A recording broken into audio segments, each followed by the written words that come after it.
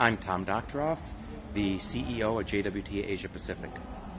Top down is timeless because all brands need to have a very clear definition of what they represent and the relationship that they have with consumers.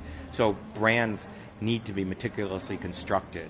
They need to have a very clear framework that aligns function and emotion and then uh, purpose in society in some cases.